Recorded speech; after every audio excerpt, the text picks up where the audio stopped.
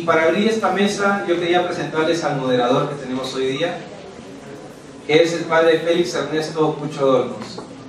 El padre Félix tiene 14 años de ordenación sacerdotal, eh, estudió en la, tiene estudios en la Pontificia Universidad Gregoriana de Roma, y también una licenciatura en, la Facultad de Historia Eclesiástica y Bienes Culturales. Ha desarrollado servicio parroquial y académico como párroco, como párroco de Cristo Peregrino desde el año 2009 hasta la actualidad y es miembro del número de la Academia Peruana de Historia Eclesiástica desde el 2008. El padre Cucho ha realizado diversas publicaciones vinculadas a la historia de Cusco y a la historia del patrimonio religioso cusqueño. Además, eh, actualmente dicta cátedras en el Seminario Arquidiocesano de San Antonio Abad desde el año 2005, además de ser noviciado de la Orden de la Merced y noviciado de la Orden de Predicadores del Seminario Agustino Diego de Ortiz del Cusco. Por favor, eh, démosle un fuerte aplauso al padre Ernesto Cucho.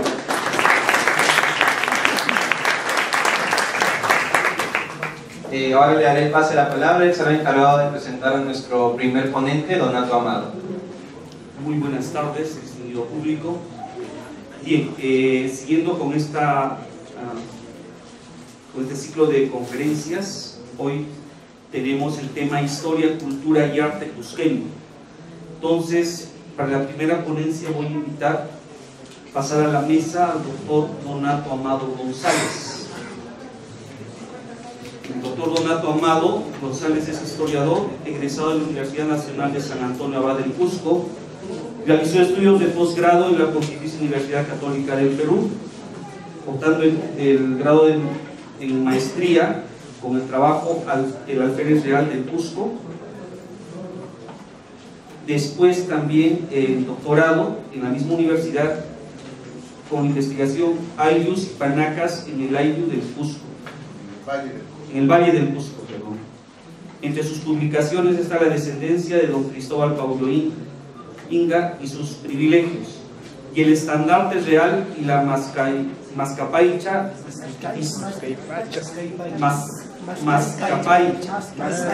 historia de una institución inca colonial en la actualidad es coordinador de gestión e historiador del Parque Arqueológico Nacional de Machu de la Dirección Desconcentrada de Cultura del Cusco. Con ustedes, doctor Donato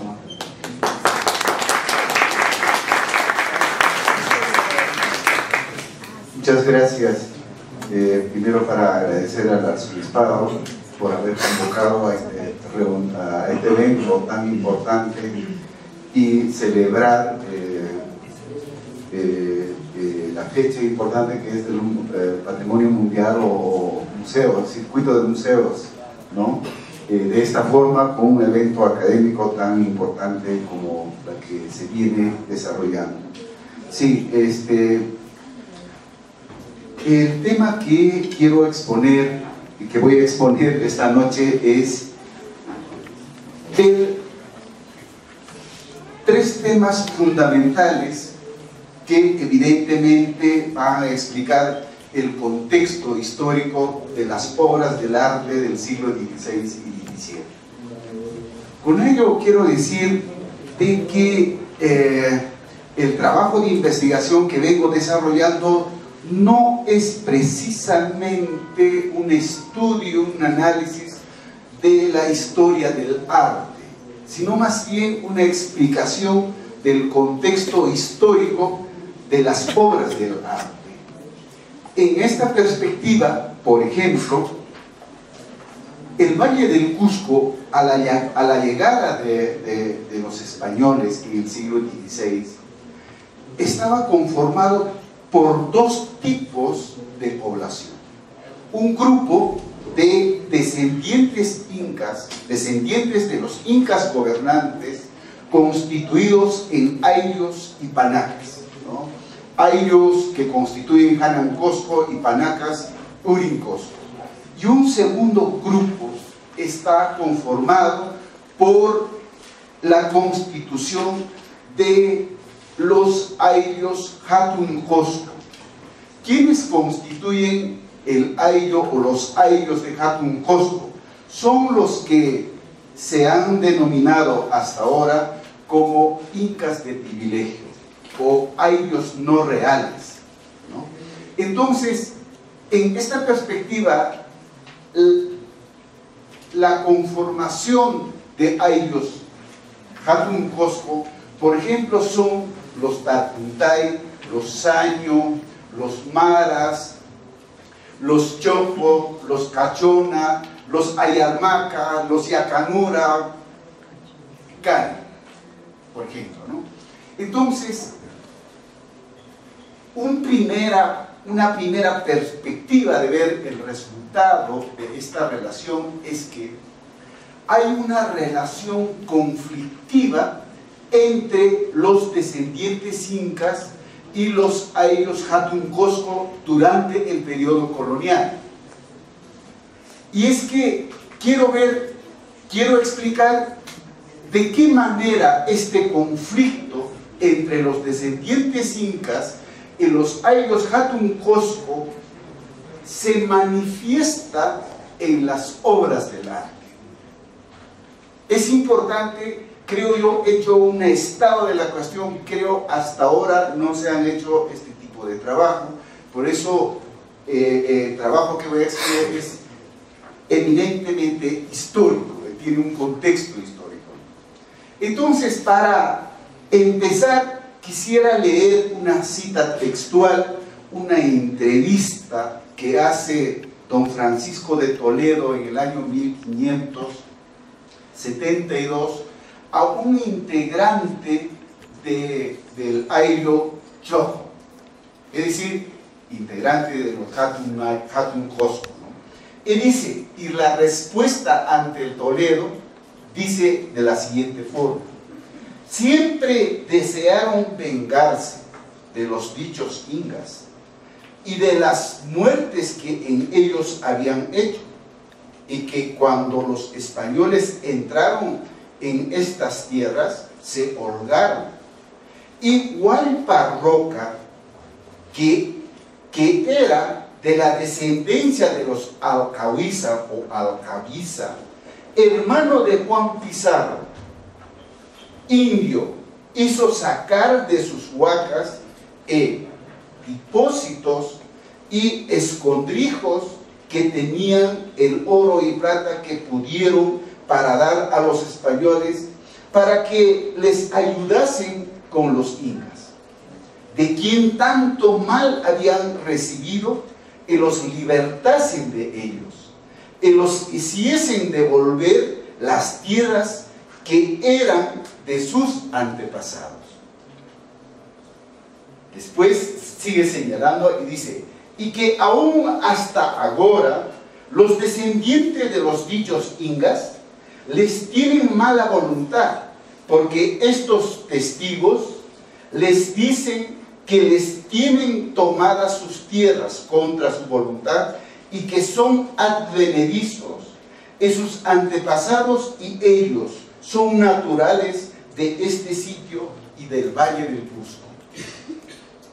Es importante esta respuesta que da el integrante de, los Hatun Cusco o ellos no reales a la pregunta de don Francisco de Toledo, es decir, en el siglo XVI y XVII y XVIII, y me atrevería a decir hasta el siglo XX, hay este tipo de contradicción.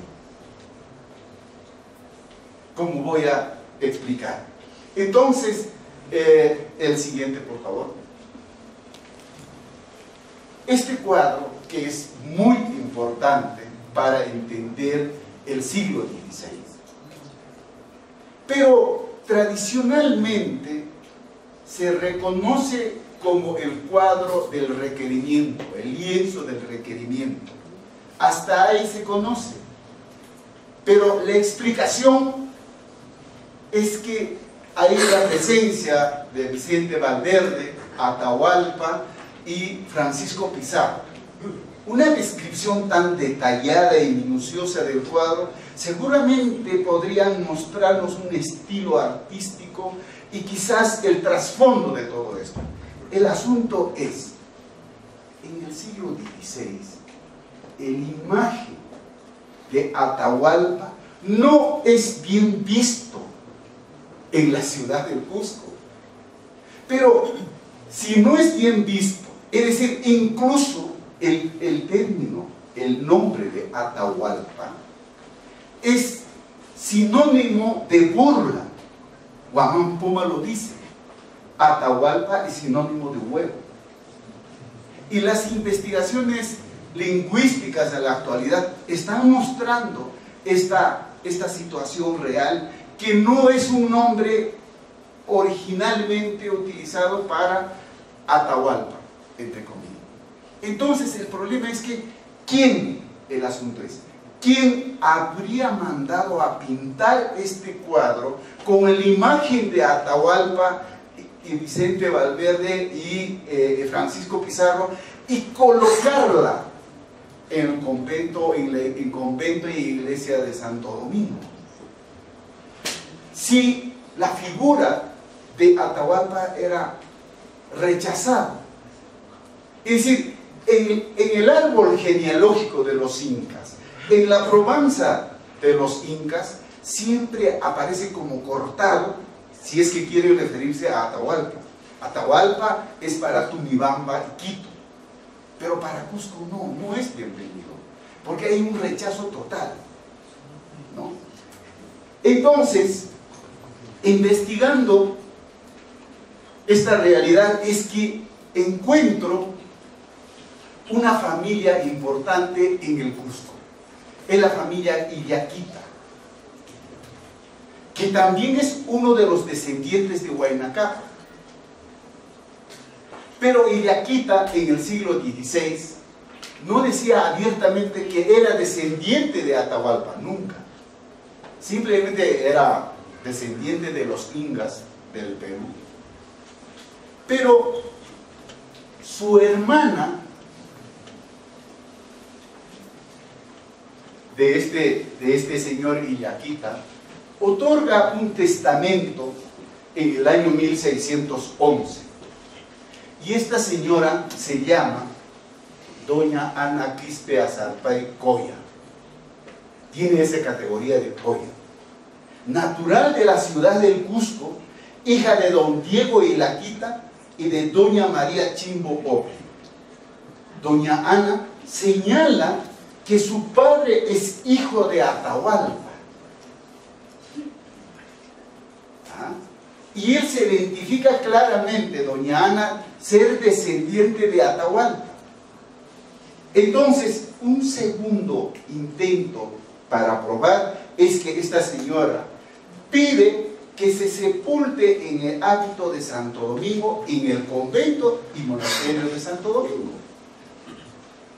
Es decir, hay un listado de donación que hace la señora en favor del convento. Entonces, mi hipótesis, la señora y su hermano y toda la familia Illaquita mandó pintar el lienzo donde aparece Atahualpa y quede en memoria de la historia, en memoria del convento de Santo Domingo, esa relación entre eh, eh, Vicente Valverde Francisco Pizarro y Atahualpa. Y es el único cuadro donde aparece, claro, en Lima también hay una réplica de Eduardo sí, pero este cuadro es importantísimo, pero para que vean, había una señora que era descendiente de Atahualpa, pero que no vivía en la ciudad del Cusco. Fue confinado a, al pueblo de Pirque en Acomayo y Nacomayo tenía, poseía grandes posesiones de tierras, pero la cantidad de oro y plata, tejidos del tiempo del Inga que tenía era increíble dejó donado a favor de la cofradía de Nuestra Señora del Rosario, la Ñusta del convento de San Agustín. Es, muy probable que la señora también es una de las fundadoras de la cofradía de Nuestra Señora del Rosario, la Ñusta Santo Domingo. ¿no? Entonces, creo yo, para entender y explicar el contexto artístico de estos cuadros, es importante tomar en cuenta el contexto histórico para tener una idea de qué estamos hablando. Siguiente, por favor. Y ahí está eh, eh, Nuestra Señora del Rosario, la Ñusta, con sus representantes y donantes. Siguiente, por favor. Y aquí va otra. La Virgen de Descensión. Y está ubicado, o estaba ubicado en la iglesia del Triunfo, hasta los años 1824-25, conjuntamente con un cuadro del apóstol Santiago. Pero este tema quisiera dejar un ratito aquí. El siguiente, por favor, y voy a retornar. Este cuadro es de la Virgen de Descensión, pero que está en el pueblo de San Salvador de Pujiura, echando, echando tierra o arena, ¿no es cierto?, a los ojos del ejército ahí. Siguiente, por favor. Este cuadro del apóstol Santiago está en el pueblo de San Salvador de Pujiura conjuntamente con el segundo cuadro que acabo de mostrarles. El asunto, otra vez, la pregunta, ¿por qué el apóstol Santiago atropellando al Inca, no al indio, no a Matamoros, sino al Inca, y está, o quién mandó pintar este cuadro y el segundo cuadro que acabo de mostrarles, ¿y por qué en el pueblo de Santiago, en Pujiura. Es importantísimo esto. Entonces, pero alguien que tenía mala voluntad a los descendientes incas, a por lo menos a la imagen del, de, los de la descendencia inca, pudo haber mandado pintar pisando, atropellando, ¿no es cierto?, al ejército de Manco Inca. Pero ¿quién en el pueblo de San eh?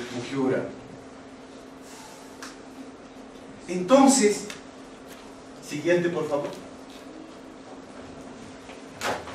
Bueno, lamento mucho que no se ve mucho, muy a pesar de que estas fotos son de muy alta resolución que eh, el arzobispado del Cusco me ha facilitado.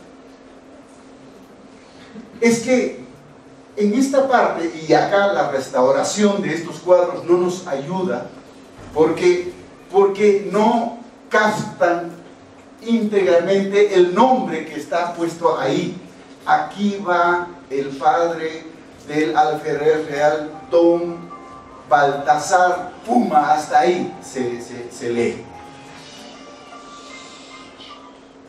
Pero yo quería encontrar en los protocolos notariales quién es este señor Don Baltasar. Créanme, me he pasado a revisar todos los protocolos notariales, poder encontrar el nombre Baltasar Puma, Supa o Puma, algo así.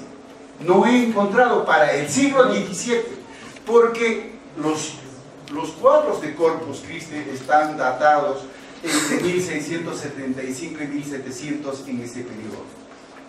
La fecha no importa, pero en ese periodo, durante el siglo XVII, no he encontrado un nombre, pero encontré para el año 1565. ¿Y dónde? Estaba en el año Chacán de Anta, junto al pueblo de Pujiura, que se llamaba Don Baltasar Pumazupa.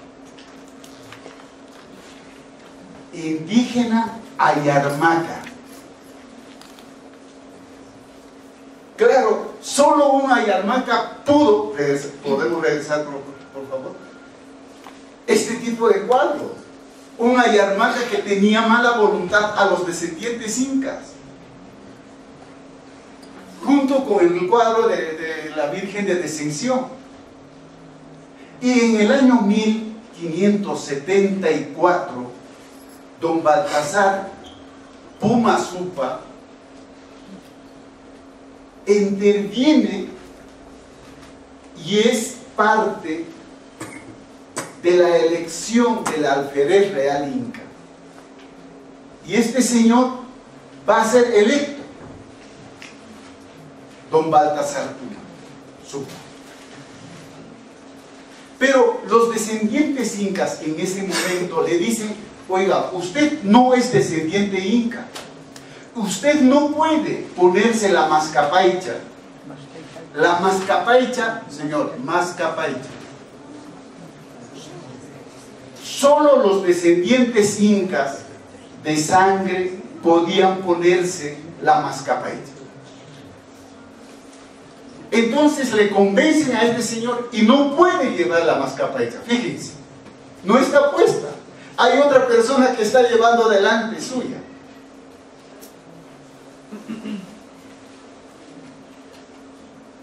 Entonces, la familia, la descendencia Baltasar Pumazupa, después de 1574 en adelante, después de haber sido el honor de haber llevado el estandarte real de su majestad, de la corona real, desde ese momento, don Baltasar y los descendientes cambian de apellido y va a llevar el nombre, su hijo mayor es Gaspar Alferez. Deja de ser Pumazupa y lleva el nombre de Alferez.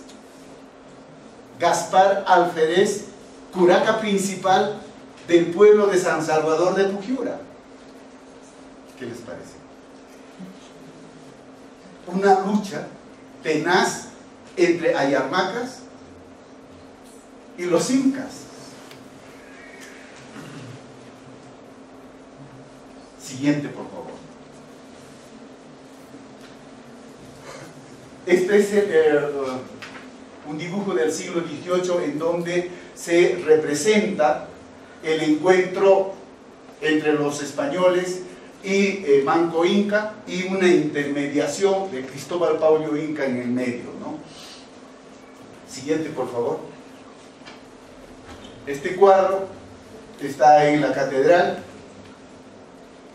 Siguiente, por favor. Entonces, el cuadro de la Virgen de Descensión de la Iglesia del. Este cuadro, sumamente trabajado por todos los historiadores del arte. Teresa Gisbert es el que primero ha estudiado este cuadro y eh, eh, sigue con algunos detalles, señala que ahí están las autoridades principales, la curaca principal con sus respectivos esposas. Pero, haciendo una búsqueda de la información histórica, se contrasta y se determina que el primer señor que está ahí es el alcalde mayor de las ocho parroquias el segundo es el alguacil mayor de las ocho parroquias. El tercero es el alférez real de las ocho parroquias. Estos tres autoridades, coloniales, por supuesto, solamente los descendientes incas de Huayna Capa podían ostentar este cargo de alcalde, alguacil y alférez. No hay más. Es un privilegio que la corona se las dio para que tengan este cargo. Y en honor a este cargo es que el alcalde mayor organizaba las fiestas del 22 de mayo en conmemorando la Virgen de Descensión. Entonces, el cuadro que mandó pintar al interior de la iglesia del triunfo donde aparece, siguiente por favor, siguiente, este cuadro y los otros cuadros que aparecen el otro cuadro creo que ha desaparecido, ¿no es cierto? Eh, es la secuencia de diferentes autoridades que pasan, alcalde, alguacil, alcaldes, desde el siglo XVII, durante 100 años. Entonces, es importante que la acaparación de cargos importantes de los descendientes de Huayna Pero hacia finales del siglo XVII ya hay una decadencia en la, en la, en la autoridad de estos tres personajes. Entonces va a haber un, un sobresaliente, un ayarmaca. Siguiente, por favor. Ese es el tipo de cargo como, como ostenta y fundamenta el alcalde mayor. Siguiente. Aquí. El señor Sicos es curaca principal de los Ayarmaca. Y este señor era platero, tenía dinero, tenía una tienda pública en la calle Plateros. Decide comprar el oficio de honor alcalde mayor, siendo Ayarmaca. Por supuesto, la autoridad eclesiástica y la autoridad de los descendientes no le permitieron, no le permitieron desarrollar la fiesta en la iglesia del triunfo. Entonces busca otra alianza, chicos. E encuentra un apoyo espectacular en la orden jesuítica. Y los jesuitas le ofrecen, muy bien, puede sacar en procesión a Nuestra Señora de Loreto. Y ahí puedes mostrar tu mascapacha y tu vestido de inca. Celebró la fiesta. Compró con su dinero el alcalde mayor, que solamente pertenecía a un descendiente de Huaynacapa. Pero fíjense, aquí hay una lectura, y les cansaría mucho ahí leyendo, ¿no? Pero es increíble de la forma cómo se describe detalladamente de la forma como fue la procesión de Nuestra Señora de Loreto y cómo participa este señor Sicos como alcalde mayor. Siguiente, por favor. Hay la elección de la Federal Real entre 1562 y 1595 y aquí vamos a tener un cuadro. Siguiente, por favor y ahí está el cuadro de los proyectos. Siguiente, por favor. Otro dato importante de analizar.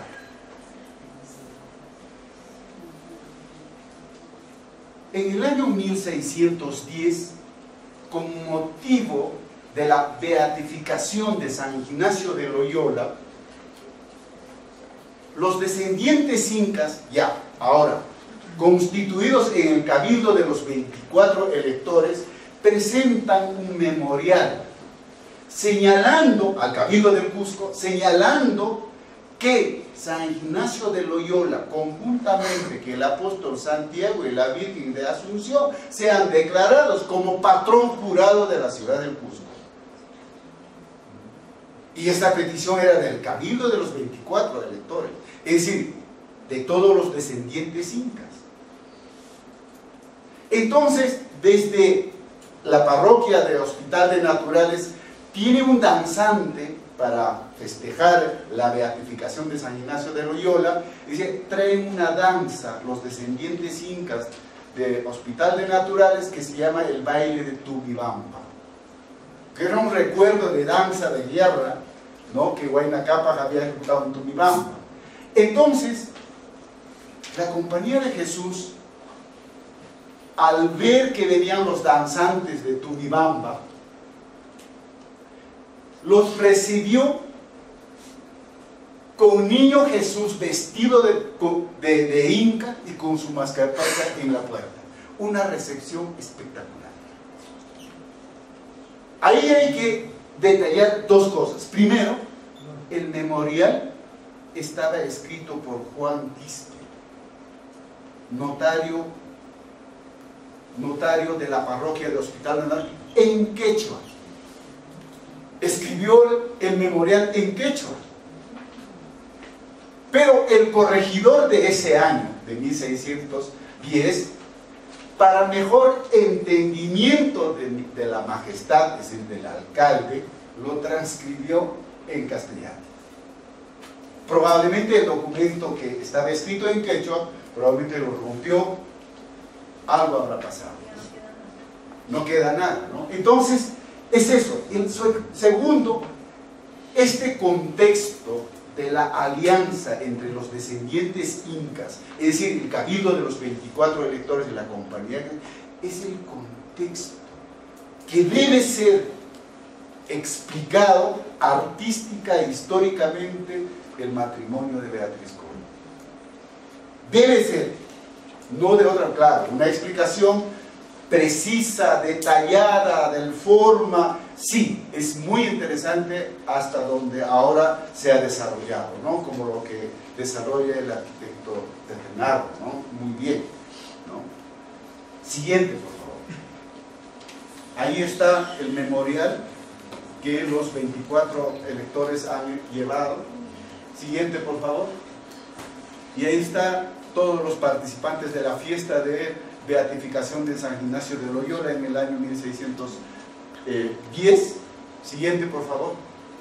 Por favor, si hay está ahora, por favor me avisa, por favor. Entonces, hay un problema, hay un problema entre el año 1610 y 1685. ¿Y cuál es el problema? Y con esto y con otro eh, voy a, voy a, voy a, voy a terminar. Pero es un poco largo, por favor. Ténganme paciencia. Los famosos cuadros de Corpus Christi, que son en número de 16 o de 17, la pregunta central y que creo yo nadie, nadie se ha, eh, eh, no ha tocado este tema, esta pregunta, ¿por qué estos 16 cuadros estuvieron en la iglesia de la parroquia de Santa Ana?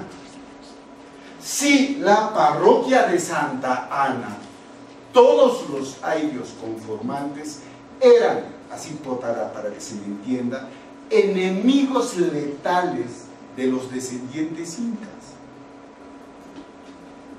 Si la parroquia Santana eso es, decía, Ayu Cañari, Ayu Chachapuya, Chincha Huanca, todos eran enemigos de los descendientes incas, aliados perfectos de los españoles, cumpliendo la función de verdugos,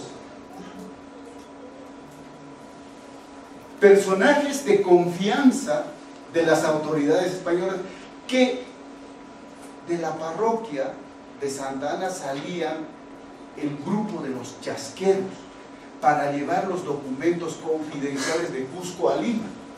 Por ejemplo, el año 50 o el año chasquero de la parroquia de Santa Ana.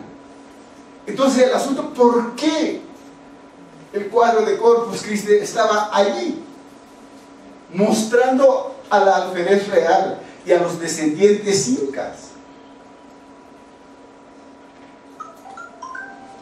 Entonces, ahí surge este señor, don Francisco Uclucana Zahuaytoto, curaca principal de la parroquia de Santa Ana. Este señor se había casado con un descendiente de Hernando de Soto, y Hernando de Soto estaba casado con un descendiente inca, con, una, una, mujer descendiente inca.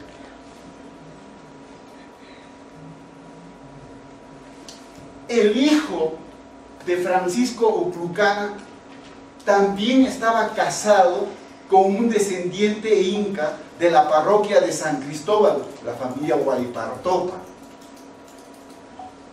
Entonces, el hijo de Uclucana decía, yo estoy casado, mis padres son parte de la familia de los descendientes incas y yo también estoy casado con un descendiente inca, por consiguiente, tengo derecho a formar parte del cabildo de los 24 electores. Yo tengo que elegir y votar quién debe ser el, el alférez real. Quiere entrar en una petición. Y acá pasa una cosa curiosísima, que los descendientes incas, siguiente por favor, eh, hacen una, una declaración señalando que la familia Huaypar, este, la familia Oclucana, había convocado secretamente al corregidor, al, alcalde mayor, eh, perdón, al, al alcalde del Cabildo del Cusco, al procurador, al juez de naturales, a todos ellos y a los principales a su casa para invitarle vino, chicha y comida. Para que en esa reunión se declare, declare como electo Uclucana como alférez real. Obviamente esto fue rechazado rápidamente. Siguiente, por favor. Entonces, Uclucana empieza, empieza a pensar de qué manera puede demostrar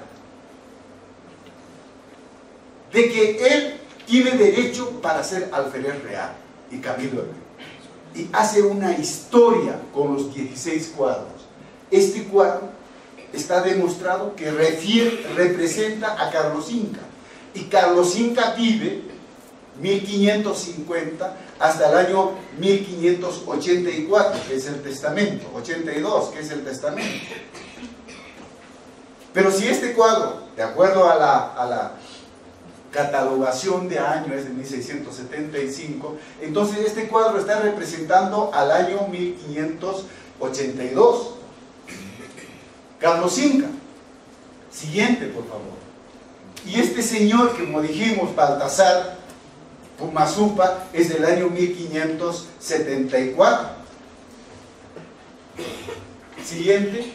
Y así sucesivamente, está, este es un señor eh, de, San Blas, que también es albacea, testamentario de albacea de eh, Uclucán. Siguiente. Igualmente este señor. Eh, entonces, lo que, lo que quiere hacer Uclucana es hacer una historia de árbol genealógico de autoridades del, del alférez real y demostrar a los descendientes incas tiene injerencia, tiene derecho para ser alférez real o crucano. Y fíjense cómo resulta, y aquí están los, los cañares, y aquí es por disposición de Toledo, en el año 1572, los cañares son los que organizan la, la, fiesta de Corpus Christi en, en su integridad. Siguiente. Siguiente. Aquí está. Reaccionan los descendientes incas y señalan claramente a, la familia Lucana. Don Francisco de Lucana, siendo así que el susodicho no tiene derecho para sacar el dicho estandarte porque no es descendiente él ni su hijo de los incas, sino que es descendiente de los cañares que para el día de Corpus Christi salen con sus insignias de cañares hechos soldados porque así lo ordenó el excelentísimo señor don Francisco de Toledo, virrey que fue de estos reinos, por sus ordenanzas porque los dichos, dichos cañares y chachapoyas no son naturales de la dicha ciudad Cusco, sino que son advenedizos de los pueblos de Quito y Ankara. Sentenciado. Así fue sentenciado y no, desde ese momento ya no pudieron sacar. Siguiente, por favor. Entonces, siguiente, y aquí está ya Este es el establecimiento del Cabildo de los 24 electores para el año 1685. La lucha de los Ayarmaca con los descendientes incas, la lucha por la descendencia, por la línea materna y paterno, fue durante el siglo XVIII, XIX y XX. XVIII les parecerá atrevido y curioso, Tupac Amaro, José Gabriel Condorcanqui Tupac Amaro, también sufre ese problema. ¿Por qué? Porque cuando, cuando José Gabriel rodea la ciudad del Cusco, pensando que los descendientes incas van a salir, no salieron. Todo lo contrario, una semana antes, los descendientes incas de las ocho parroquias se asumaron al cabildo del Cusco y le advirtieron, Señor, hay rumores que va a haber rebelión de Tupac Amaru. Y tenga usted la seguridad que nosotros sí estamos a favor de los españoles, a favor del cabildo. No aceptaron. ¿Por qué? Porque los descendientes incas a José Gabriel le dijeron, tú eres descendiente por la línea materna, Pircoaco. Y lo que se quiere para ser descendiente inca es por la línea paterna. Por eso no, no, pudieron, no, pudieron, no pudieron declarar como descendiente inca en la, en la Real Audiencia de Lima. Y, siguiente por favor, siguiente. Y esto es, ¿no? Otra vez en la, rebelión de Tupac Amaru aparece apóstol Santiago expulsando al ejército de Tupac Amaru. Entonces, fíjense, un notario público como Agustín Chacón Becerra escribe una nota y dice, Apóstol Santiago fue visto en los cielos cusqueños en el momento del cerco de, de, Amaru. Y por eso los indígenas, donde estuvieron, en las iglesias donde estuvieron el apóstol Santiago, empezaron a amarrar de pies a manos al apóstol Santiago para que de noche no salga en apoyo de los españoles. Ahí dice claramente el documento y se funda una, cofradía muy importante en la parroquia de, Santiago, la cofradía del apóstol Santiago, en agradecimiento de haber aparecido otra vez en los cielos cusqueños. Siguiente. Siguiente. Claro que no fue así. Siguiente. Y finalmente, siguiente por favor, en el año 1900, y esto sí a alguien le puede, le puede doler de repente, ¿no? Siguiente, por favor. Siguiente. Siguiente. Siguiente.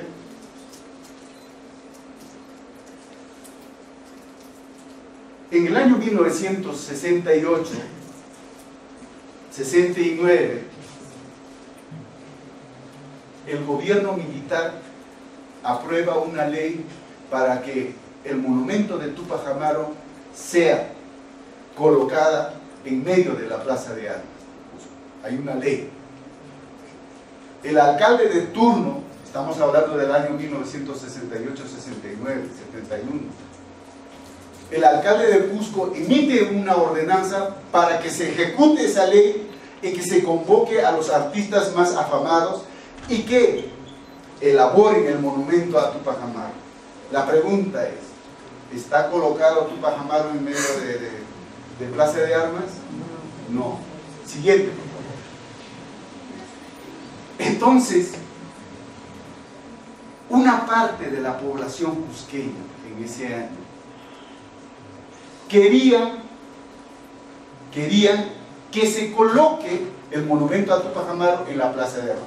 Fundamentalmente los que procedían de provincias altas, como llamamos ahora, ¿no? Sicuani, Canas y Cañas, ¿no? Ellos.